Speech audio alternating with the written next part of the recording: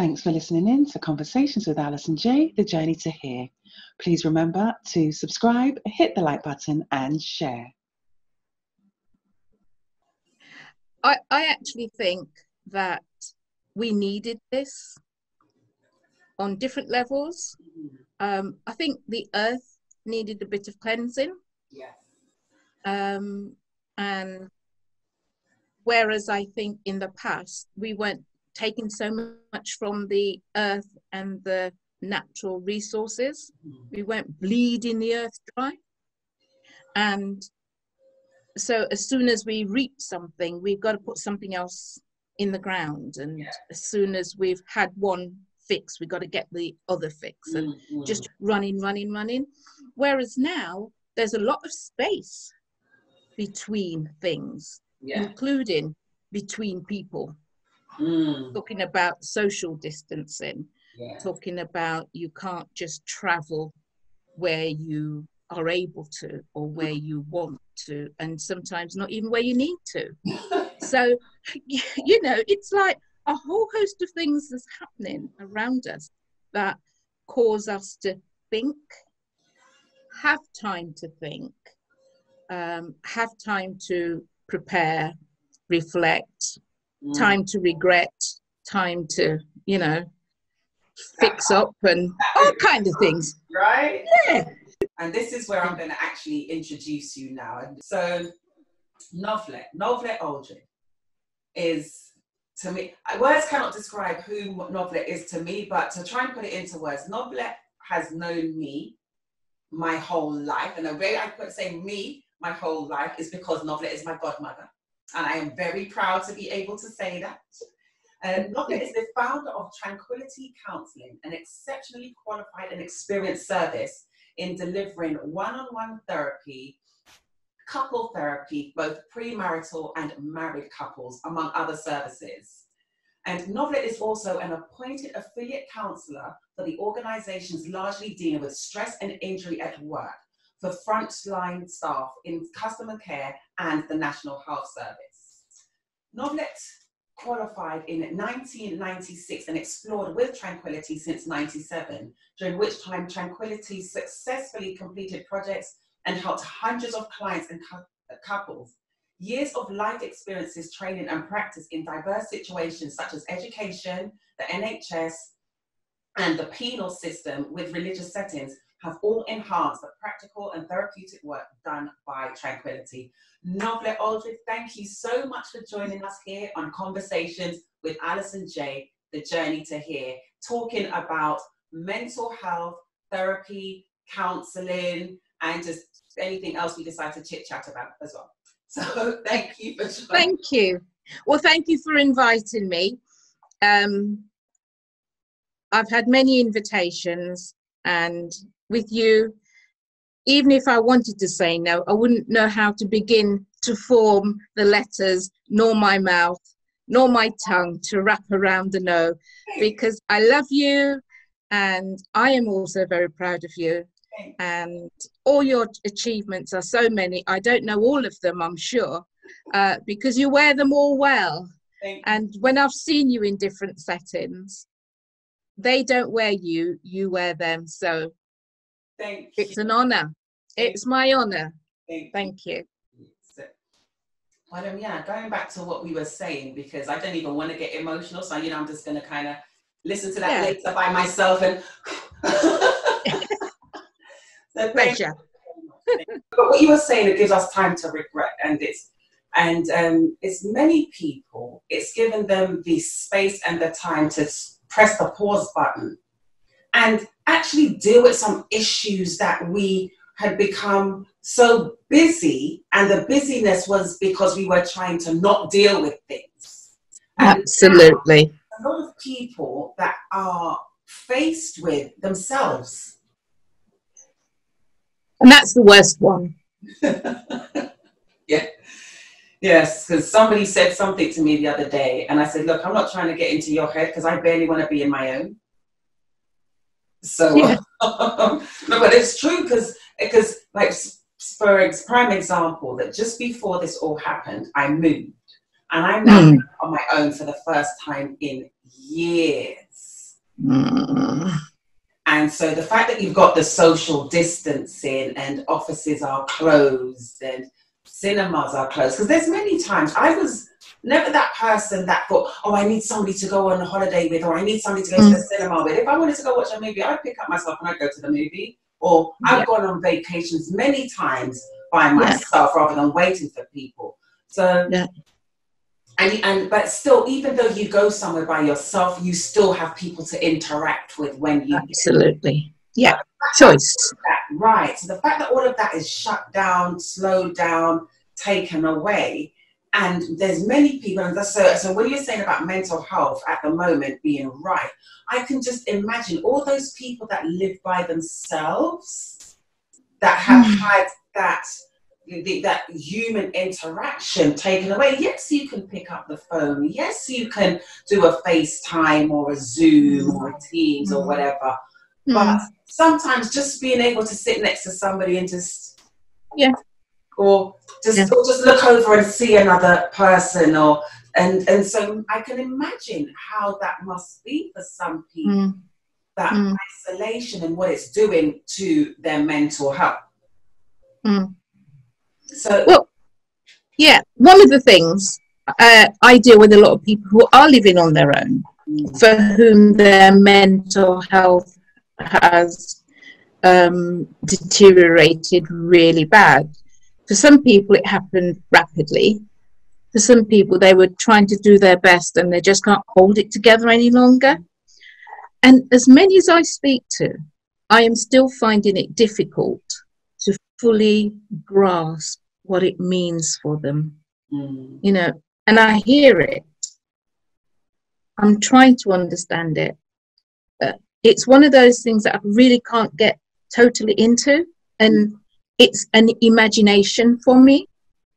Um, I'm trying to do an imagery of what does somebody do when they are totally by themselves, and it's not for, you know, somebody's gone away for a week or two weeks. It's not like that. It is morning, noon, and night and it really when they tell me it's horrible yeah months you know the things that they normally do monthly has come around a few times.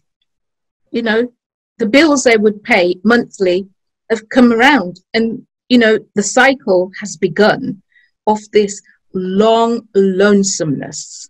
Yeah. Uh, you know and it really is the the knock-on effect is too much the yeah. services. Mm. And one of the things, I was speaking to somebody very recently, and I know there are vast differences, but it made me think of a prisoner in solitary confinement.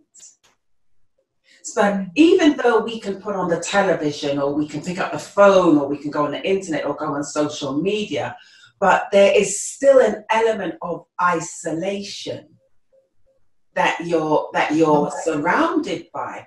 And I thought to myself, I when you watch these movies of um, a prisoner being taken out of um, what did I just call it? Solitary confinement. Solitary confinement. And yeah. you watch these movies of when they're taken out or when they have their actors playing how they're in there talking to themselves and if there things are happening to them while they're in there.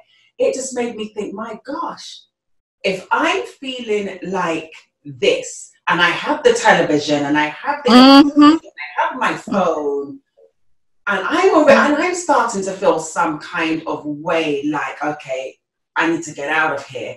Then I'm thinking, my God, no, it is, it is true that they, depending on how long they're in there, that's I can see how they have now come out having completely lost their minds. Absolutely. And that's for people as well who've never experienced any form of mental disorder at all. Right, that's the key. That and I'm so glad you said that because that's the thing. Many people think that in order to have a mental breakdown or something, you have to have some kind of underlying. Absolutely. But that's not necessarily true in all cases, is it? Nope. Nope. Because what what this kind of time does, it gets deep down into the who you really are. Mm-hmm. And for some people, there's always been perhaps a, a link or two that they've never really joined up in terms of who they are, what they're about, and you know, survival for them has not ever been on the agenda because they've been able to get on and do all sorts of things. Mm-hmm. And and that when that hits them, and then when you for some some of those people they've listened to the news mm-hmm. and when there is no good news yes. or the or the glimpse of good news amongst the mountains of bad news yeah. just you just can't can't help yourself in that mm. you know and last week we had um, an experience at home which we'd never thought of never had to think about um, and it's without electricity the good thing was it was daytime mm. I was on a Zoom, husband's on a Zoom, and everything is going, everything is absolutely fine. The sun is shining. Couldn't want for better weather. You know, great to be working in at home in the comfort and all the rest of that. Um, everything went. Lights went, electric went, and you can see that, well, the laptop has some life in it. Mm. So I think, you know what, I better turn it off. To preserve. the phone has some life in it, and I'm thinking, I'll send my last few calls and turn it off. Um, and I have an extra charger that I have for traveling, really. And every now and then I charge it up so I was able to charge my phone to 94%. Now I felt rich. oh, wow. I was I was like rich because mm. I had something to keep me connected. Mm. I thought, sure, we're gonna make a cup of tea. On no electricity. Yes. Part of me was thinking, we have a gas cooker. It doesn't work unless you switch on the electricity. So I thought to myself, if the absolute worst comes to the worst, this is me problem solving for myself, you know, not a patient, not a client. At the moment, I am the one in need. Mm. Um, and I sent out a few messages to a few people. I think I'll need to borrow your camping stove. You know, goes a long way for a joke. And then I thought to myself, I know, I've got a barbecue. And I've got some stuff and I've got matches. If the worst comes to the worst, I can at least have a hot drink. And I would like the barbecue to make sure. And all of these things was going through my mind. And then I'm thinking of people that I'm actually working with. Mm-hmm. When one thing happens, sometimes everything crashes. Yeah. Because it's their one survival kit. Mm. Yeah, I had other resources and other thinking abilities that could say to me, okay, don't worry, if the worst comes to the worst, I can do something. You know, that taught me that our reliance on the things that are to hand, if it really went, and it wasn't going to come back on in in the five hours what they said it would come mm-hmm. back on because it was a major whatever how would I really cope? That's interesting um, because I went through an experience like that having moved to Florida eight years ago. And um, as you know, mum's lived in Florida for years. Yeah. And there's always been the time when I would get a message from her if you can't find me, I'm in the hurricane shelter because it's hurricane season. Yeah. And you know, those were the nerve wracking times. It's like, okay, this lady needs to move away from Florida because my nerves can't take this. Oh my goodness. Yeah. I can't get hold of her, right? So, um, so then what happens eight years ago? I moved to Florida. And hurricane seasons start and come around. But you see, the thing is, because we know it's hurricane season, we can prepare. Absolutely. You can get the little camping stove with the little Mm-hmm. containers, canisters of gas, Mhm. all Yeah. non-perishables and stock up on water because they say you must have X amount of water per person per day. So doing the math calculation to make sure you've got enough water and, and things like that. So you have it and you put it down. And Mm. most years it's a tropical storm, nothing happens, Mm. you're good. Yeah. But there was one year when it says that's it, evacuate, hurricanes coming. So we're like, we're not evacuating, we're gonna stay put. And then nothing happened. It's like, oh, this is a breeze. I got two days off, and the weather was great. Two years later, they say, okay, this one's coming, and it's going to be worse than Andrew. So you know everybody's hunkering down and all the rest. hmm Unfortunately, it wasn't as bad as Andrew, but it was bad enough that it knocked out our electricity.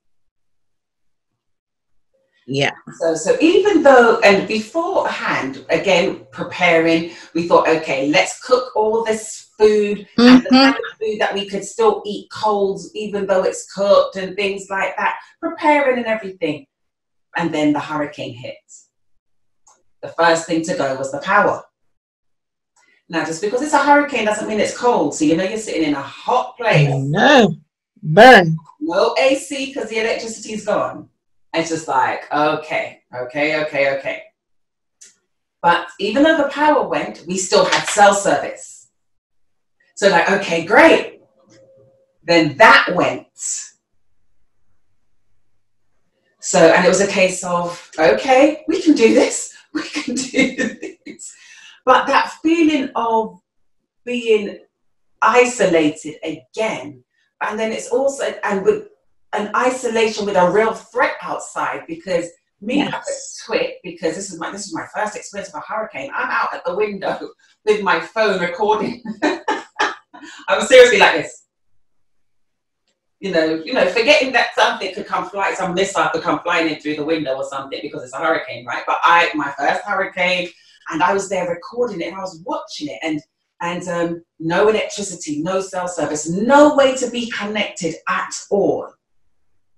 And so, so to your point about being able to, but because we knew, because you're given that warning, you can prepare. But what happens when, like, for example, this pandemic, Mm. there was no warning. No. So, so you've got so many people that are thrown into a situation, and many of them, if the truth be told, were hanging on by a thread anyway. I know. I know. yes. Yes. So for you in the profession, and I've realized I haven't even introduced you properly, so we're going to do that in a minute. And so for you in the profession, I mean, how does that? How how because you know your point about saying you're saying that they you you couldn't even begin to imagine what some of them were feeling because for yourself, like you said, you, you've got your husband and you so Mm. you're, you're there with someone. But then you've got some people that even though they're there with their husbands, I'm hearing divorce rates are up. Oh, yeah. And don't talk about domestic abuse. No, we want to talk about domestic abuse because we're trying, we want to blow the lid right off these things. Well, there is no lid. Wow. There is no lid. Not anymore. It's awful. Everything has just skyrocketed. It's horrendous. If if this was something to answer situations that said, well, look, you've got this house, Mhm. it's fully insured, but it's got lots of work to be done in this house. So you work hard, you work extra, you patch this side, and then you patch the other side. Because you don't have enough money and enough resources, you can't really do the whole building. Mm. So when you've done one bit, the other bit that where you started also now needs attention. Right. So it's an ongoing work that is never actually going to reach its full potential. Mm. And I think some relationships are a bit like that. They're full of patches. Yes. And whatever, while ever they're patching, it feels as if they're doing something and they're getting somewhere and they will get somewhere and it will be all right because we're working on it.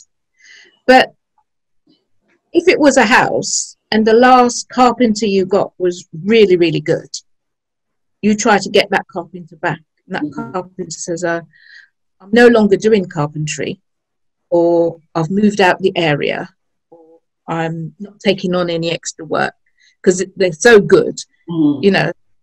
So you go and you get somebody else. So even the same work cannot be seamless Mm. because they work in different ways. And so the same for the relationships. As you patch, and sometimes different people get involved, and different people work in different ways. Mhm. So some will say, well, let's just fix the top so that everything looks all right and everything's fine. But on the inside, it's still breaking down. Mm. And so sometimes a storm could become a blessing in disguise Yeah. Because it knock off so many slates off the roof that you know the leak yeah. the leaking roof can now be fixed Mm. with the insurance because it's knocked off the slates something else might happen and blow in you know a few windows blow in so you can do stuff but when i look at this pandemic in terms of what it's doing to people it's like rocking the foundations Mm. Government are spinning out of control because they are still practicing. And although none of us have ever seen this, there are very few people who are still alive who were around in the last pandemic, you know, the last big pandemic, because I know we have them several times over. There are very few of them. And what they learnt then, or what they were told then, Mhm. they are not really equipped to help us now. So the foundations are really rocked. Um, and I, every now and then, I'll become a bit of a news freak. So I will watch the news and I will listen to this one and I'll listen to that one. And I think, what you're telling me you're following, you've missed because you've not taken it into consideration. So people are saying, well, you need to do this, you need to do this because you said this. Hey, everybody who's trying is really trying, and some people are very trying when they tell you the information and you know they don't know. Yeah. You ever hear them answer a question? Um, could you could you could you clarify this for me? And when they're finished going around the houses, even you forget the question you've asked. Yeah, exactly. And that and they're masters at that. Spin doctors, right? They are absolute masters at that. And it's so true. You know, something that you said about they try to fix the top. And it's almost like you do plastic surgery or cosmetic surgery. They don't call it plastic Yep. surgery anymore. Cosmetic, I'm yeah. myself. You do cosmetic surgery, but you don't go and fix the heart disease problem that you've got. As you said that, that's exactly what came to me. You're, you're fixing all the external, you're doing your nip and tuck, and you're pulling Mhm. back, and you're, you're, you're, you're Brazilian Yeah. butt lift, and Yeah. all the rest of it. Yeah. But you're suffering from heart disease. And you're not, you're not addressing that, which is actually more important than the nip and tuck. Yeah. And it is where priorities lie, really, isn't it? And there's something there about people's background, um, their family way of dealing with issues. Mhm. And one of the things that I have found in lots of different walks is the family way of dealing with issues tend to continue to the next generation and in the next generation. But then, is that because, because it's funny, you said the family way of dealing with issues, doesn't it continue into the next generations because they're not dealt with? So it's not really the family way of dealing with it. The family's way Yep. of just not dealing with it and that thing Absolutely. handed down. Absolutely. I totally agree with you. It is the not dealing with Mm. um, which precipitates the issues, whatever they are. Only thing is, one of the things I found is that the next generation have a different way of dressing it up. So, if you imagine one generation used to put it in brown bags, Mm-hmm. brown paper, Mm-hmm. and that's fine. The next generation, and you know what England wrap it in chips paper, Yeah. yes. the, the later style chips paper, by the way, not the newspaper one. And so you move it along, then the next one think, well, actually, I could make this look a little bit better. Mm. So their paper is perhaps a bit thicker um, and might have a few pictures on. Mhm. The next one say, let's go for words which are enticing and and it's now shiny. Mhm, mhm. Technically, what we find when we strip away is that it's the same thing, just wrapped differently. Ex- Exactly, and you know, to your point, so that because many people listening may not know what chips paper is, so it's it's like another way to put it is so one generation, I know, right? One generation starts and it's in a brown paper bag, and then the then the technology is advanced, so now it's in a plastic carrier bag, and now we've moved to Yeah. the fashionable thing of we've got those reusable tote bags, those canvas bags, but you still literally Yep. take the same junk taking it out of the paper Yep. bag, put it in the plastic bag, taking it out of the plastic bag, putting it into the tote bag because every generation, because a, a plastic bag may not have been what was available 50 years ago. Yep. And the tote bag certainly wasn't that thing. So Absolutely. literally the same, just taking that same stuff and just repackaging it, redressing it, rather Mm. than and that and that's the thing that um because you know going back to um some of the mental health issues when we look at it and we think that every generation in some aspects has more to deal with than the generation before more more external social pressures come into it because Yeah. like my grandma love her god rest her soul my grandma i'm just thinking would my grandma know what social media huh social what i think because my grandma passed away what 2016 so my grandma passed away 14 years ago so i and obviously before that she had dementia. So I don't even know if grandma even really know what a, knew what a mobile phone was really because she never had one because they weren't Mm. before she passed. Mm. So so when you so so now when you look at the whole things that this generation have to deal with because we are now cash rich and time poor. Uh, yep. So, so I mean, how does so have you seen? Because I know that you have been practicing for many, many years. So, have you seen how the different generations are affected by mental health issues, and how what does that look like? I think many years ago, and and in for some people and for some cultures, mental health did not have a name. Mm. Yeah, and in some cultures, especially where it's brought on later on in life, as people perhaps, perhaps have gone through hard things, uh, very challenging situations, then we always find a way to dress it. Okay. And as a child, um, I used to hear that one not well. But you see, it, for us in our culture, it's more than words, it's the expression. If you can see the face okay. and you hear the tone, and the Mm. tone is, hmm, him not well, you know, I'm not righted. not righted. That's the that's another one. Right? that's- Righted. yeah, no. But in the not righted is often in like um, a kind of telling off, tracing kind of, Mm. you know, way. It's like almost dismissive. you know, Right. Basically, you don't need to take any notice of that one because I'm not righted. Yes, that is so true. Yes, yes, yes. Yeah. Whereas when we want to talk about someone who's not well, it, it's a kind of coming from a deeper kind of place Mm. with a hint of sadness. But you know, so, sorry to cut you there, but when you say a hint of sadness, don't you find, or didn't you find years ago, not only a hint of sadness, but in depending on who it was coming from, there was um maybe a hint of disgust and shame. well, disgust and shame would depend on who you're talking about. Mm.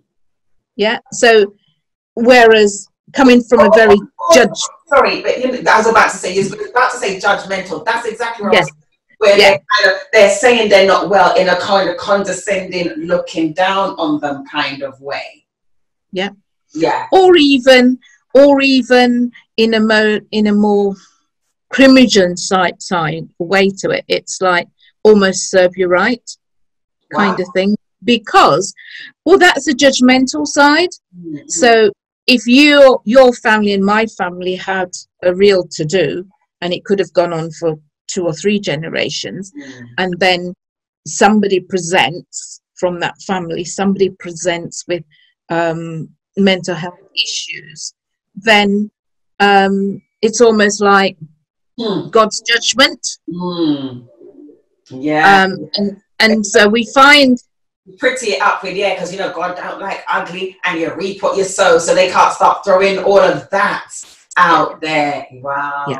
Wow. yeah. And so what you find is that lack of appreciation, that lack of sensitivity, and a great dollop of ignorance, you know, that goes on until it becomes something that's in that other side of family that shows up. Suddenly, I'm not well Mm. and the idea of keeping it secret, covering it up, forgive their misdemeanors around the issue, and cover up their lack. So, what was happening back then, a lot of people were not getting any treatment. Mm.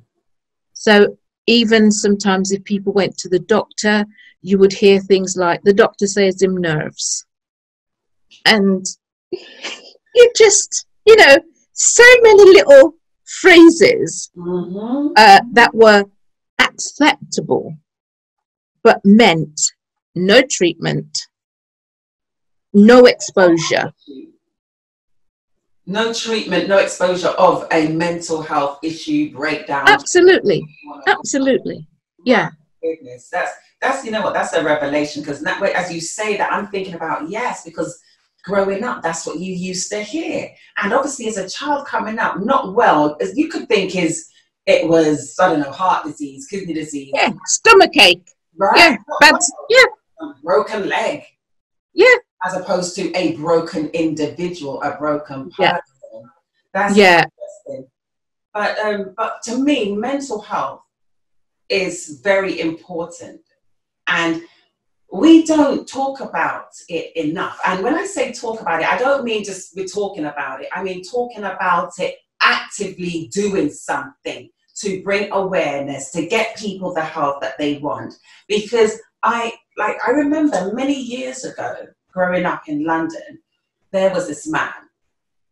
Um, he was in around the South Harrow area, and this man was back then we would call them tramps. Um, now we would call them homeless. Um, back then, when I was coming up, we would see this man and we, this tramp, and he was never harmed anybody, and we would just to see him. Years later, we got to find out that what happened to the man that led to him becoming homeless and living on the streets. Apparently, he was a very successful accountant, Mm. had a home, wife, family, and the wife left him, cleaned him out, took everything, and it broke him. And thus, and it's not to say that because the wife took everything, he couldn't continue working and rebuild Mm. himself. He absolutely could because he was a very successful top accountant in London at the time. But the experiences of that broke him to the point this man lived on the streets for years. Now, my thing is, if we had seen that and known that, and I'm thinking to myself, where was this man's family even to give him the help and the support he needed? Because if that was the case, I'm not saying he wouldn't have ended up on the streets for years. I'm not saying that. But maybe he may not have ended up on the streets for so many years if there was some kind of help and support and acknowledgement that guess what men can men can be broken absolutely and things can happen to them that causes that and when i found out the truth my mm. heart went out to him because i'm thinking wow wow there was no underlying anything it was just a life change, a life circumstances, circumstance that happened that mm. broke him. Mm.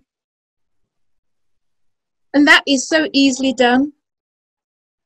Um, when you think from where he was to where you saw him might seem like a, a long distance, mm. given all his talents, experiences, and and his know-how. However, understanding how someone becomes broken mm. and what becomes broken within them mm. um, is actually two different things. Because the how he became broken, his wife left him. What broke inside him is completely different. Mm. And one of the things that we all need to take note of is that we are all pretty much one step from being homeless. Wow. Just one. Mm. And for most people, and this is a majority, generalizing, but in the majority of cases, someone loses their health, they lose their job, it's downhill. Mm. Or they just lose their job, they lose their house, and all the connections they have, particularly the ones who depend on people and take from people. Yes. And not think about giving back to that person. So, in that situation, we are all very close to being like that. Mm-hmm. Or if somebody loses their mental health and fall into mental ill health, the same thing happens oftentimes, especially if they become in hospital mm-hmm. or if they become a nuisance in their environment, they become evicted, they're hospitalized. And if they get sectioned, then that's almost like having a record.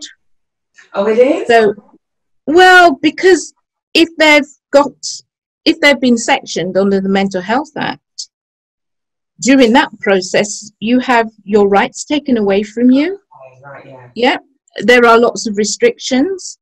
And sometimes, when you, if you're not guided into safe places to work, some people end up being without a job for many, many years and they're on benefits.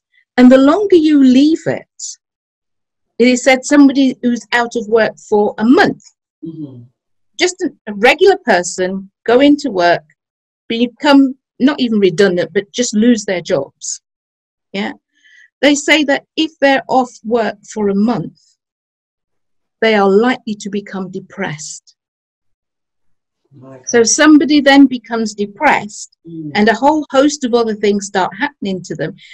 Lots of people will draw away from. If I became really depressed, if I mm. became clinically depressed, mm-hmm.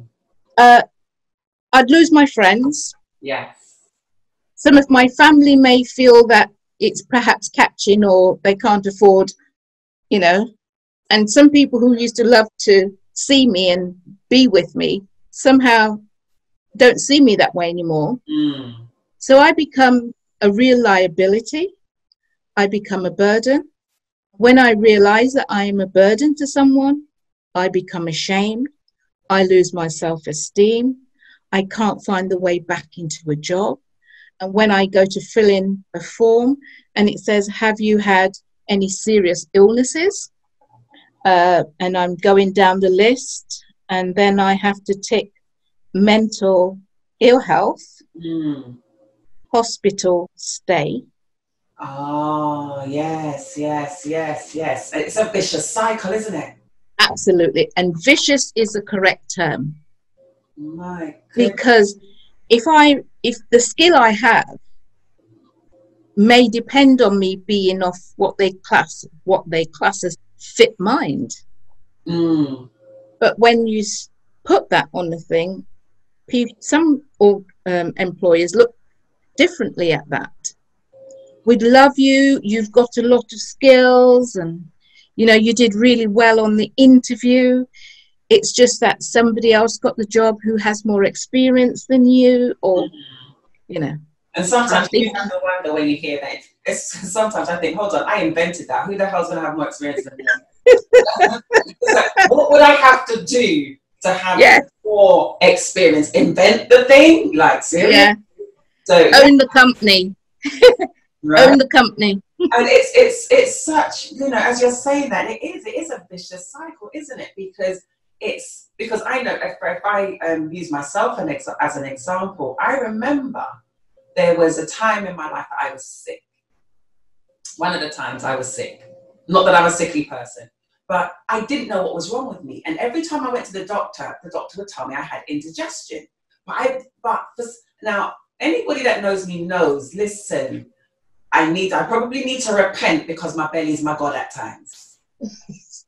And I I, can testify to that. right, I like to eat. I do.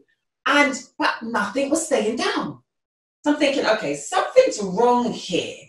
So I go to the doctor, and I remember the doctor gave me um, indigestion tablets. I remember I threw it to the back of my dresser and forgot about it. I only found it again when I was clearing everything out, when I was moving. I'm like, oh yeah, this. And um, but I knew something was wrong. And um, one of the uh, there was a young lady I used to she and I used to party like all the time. We'd go out several times a week to party. And uh, so I remember calling her, not feeling well. So I'm thinking she's my friend, right? You know, she said to me, "So what's wrong with you now?" And it's like nothing. And I put the phone down. I was just, and I, and that kind of made me, really made me sit back, like, wow, that's, what's wrong with you now? So if somebody's saying that to me and not a sickly person, was out with this person raving, partying in, on a regular basis because we met because we worked together. So she knew that I wasn't that person. But for that to be the response, so then if we take it back to what you were saying, about somebody that's depressed. And if they were to get that same response from somebody that they considered a friend, uh-uh. What in the world will it do to what's left of that person's mental state? And and and that as an example, if you like, remains a live example of many people's experience. Because then it is at the time that person is actually reaching out for some Mm. help Mm-hmm. As opposed to somebody rushing in. I hear you're not well, so I've come to make you better. You know, and put a stop to that. Uh, it's very different. So here it is, if you like, it's blame the sick for being sick. Ooh, say that again. Ooh. Blame the sick for being sick. It's a bit like blame the victim. Yeah, yeah, you know yeah so and if that person who's reached out whenever someone reaches out to someone it says a few things about them. it says i'm reaching out to you because i trust you Mm-hmm. i'm reaching out to you because i think you can help me Mm-hmm. i'm reaching out to you because i think you have my back Yes. you you are concerned about me And I'm reaching out to you because I think you and I have a relationship in which I could be sheltered, I could be safe. And so I'm reaching out to you. So basically, someone would choose someone Yeah. when they reach out. yes. And I think people miss that it's an honor to be chosen for someone to give to them that thing, that part of them that hurts, to share with them that innermost bit of their being by that. And when they get the answer, they realize you're not one, and you're certainly not the one for me. Mm. Then that withdrawal says, I'm not worthy. I am not worthy, and I cannot. And if you won't help me, nobody will. And that's that's so key what you're saying there because when you because when you're saying that you withdraw, okay, what came to mind for me was it's almost puts on an added layer of guilt on yourself that you chose wrong. So like how could I have not known that this person wouldn't have been there for me? So if this person that I really thought would be there for me isn't, that means I have no one. Yeah. And it means that the relationship I thought I had mm-hmm. was in my mind. because it was So more now, to me than it was to them, obviously. absolutely. My God. And no one wants to be in a one way relationship. Mm. Yeah. Of Yeah. any kind, whether it be a friendship, of that's you know that's so key. No one wants to be in a one-way relationship, regardless of the level of that relationship, whether it be in employment, whether it be a friendship, whether it be a relationship, any kind of thing. It has to be a two-way street. Absolutely. Like some people say, um, you say, well, why are you in the job you're in? No. I can tell you, they pay you. Even if you complain about the pay Mhm. or the working conditions, at least you know they're going to pay you. The time they stop paying you and the promise of payment isn't coming, Mm. you soon find another job. Yeah, you're gone. Absolutely. And and the truth is, and, and like you know, you quite rightly say that so many people say that because I was going to ask you, why do you do the job you do? Mm. Because to work in the mental health field, it can't be easy. It it's it can't be easy. What led you to even begin on this path? several things, and it goes back a long, long way. Um, in terms of where it started, it started in 1992, which is not so long ago in that way. It started when the job, my substantial job as a residential social worker, looking after children with lots of different types of learning disabilities, and some of it was also mental health, but they were children. Mhm. And some of those children were very big. I mean, boxer size big, Wow. because they'd had mental health issues, and a lot of them had medication, and a lot of them had growth issues. Some were overgrown, some were undergrown. And uh, when they had a really bad turn, they were strong. I mean, Mike Tyson strong. And I, you know, I have heard that in many cases where um, people that have mental health issues, when they are having an episode or a crisis, it's like this, suit, this like Hulk-like strength comes from within. Absolutely. Yeah. So I, yeah, and you don't really relate that and put that to that happening with children. You just look. Yep. Yeah, wow. Interesting. And it, it was actually a five year old. It was a five year old helped me to make my mind up. She was very tiny, very petite, and very wiry, but she can jump really high from a standing start. I mean, really high. And there was one day, uh, with all the protection and everything else, there were two of us holding her. One was holding one hand, you know, not like arms in her up. We were holding her hand. Okay. No, so you weren't And her, just literally just. no, we weren't restraining her. We were just both holding her to let her jump it out, basically, Okay, got you. because she was in this thing, and she was, you know, and she like she'd stiffen herself, but she was still jumping. I think, how do you do it? And there was two of us holding her, and I thought to myself, I cannot hold a five-year-old.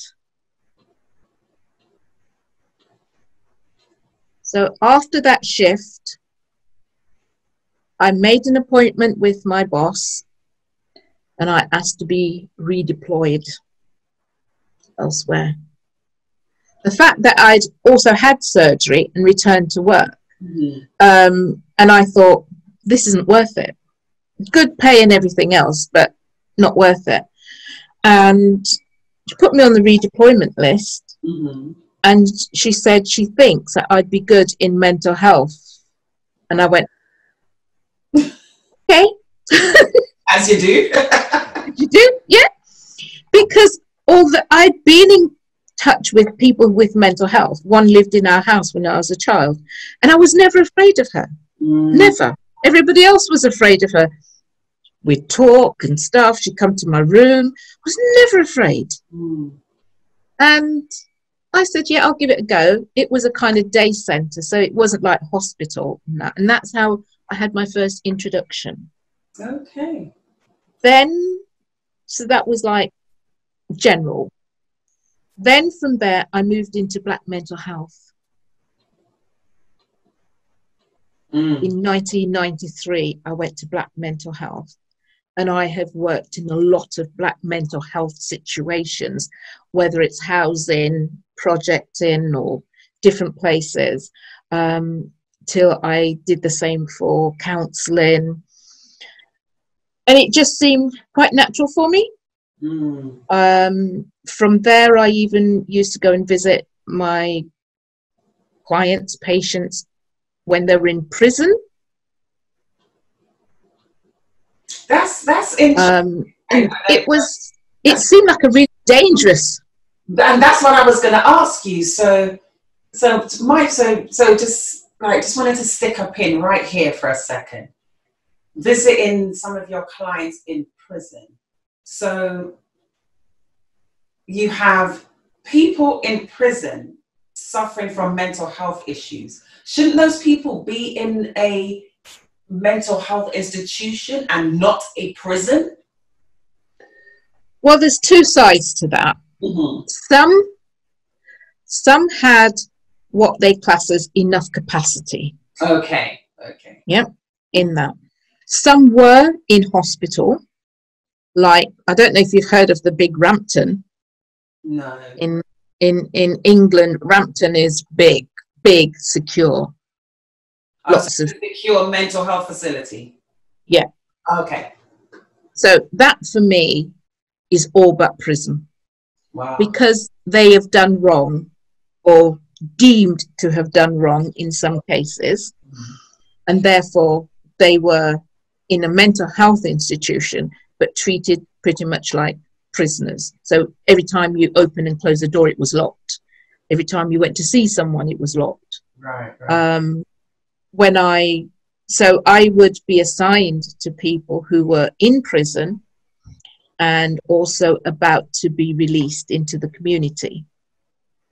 So there were all the risk factors, you Mhm. know. Um, so we would be dealing with people like people who were known sex offenders, for example, known murderers, um, and other misdemeanors.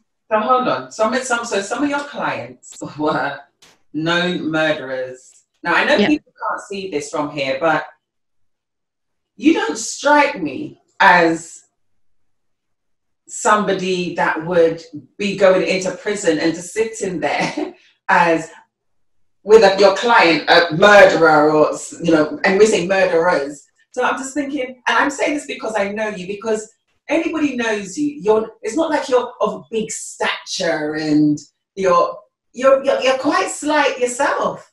So I, Well, I would say no, no, because honestly, because I, because you know, I know people that I know grown men, six foot two, uh, and and there's just no way that they would go into that environment. And I'm talking men that are in the gym every day and that you know they're Yeah. out on the street like, Yep.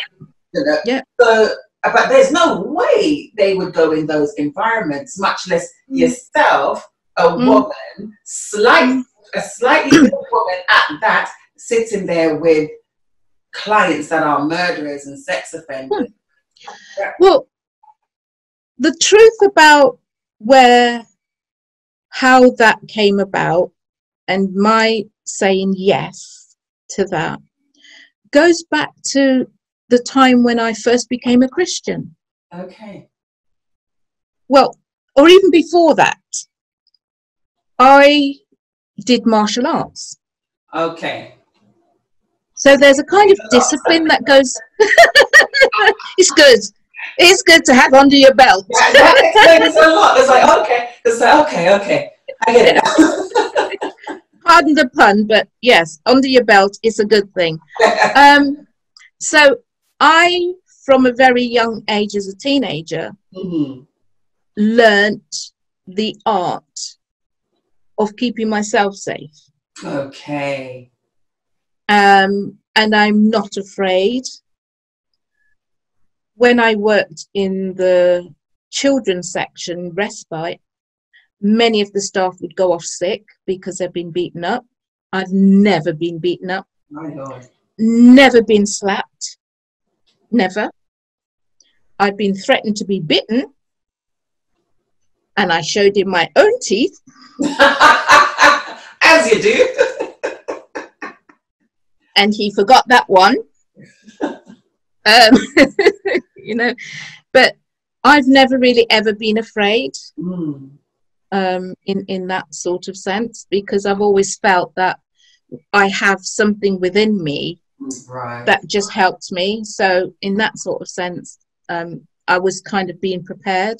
okay. But coming up through all of that, and I remember the first person that I actually went in to see that was a murderer coming out, who had done his done his time basically. Mhm.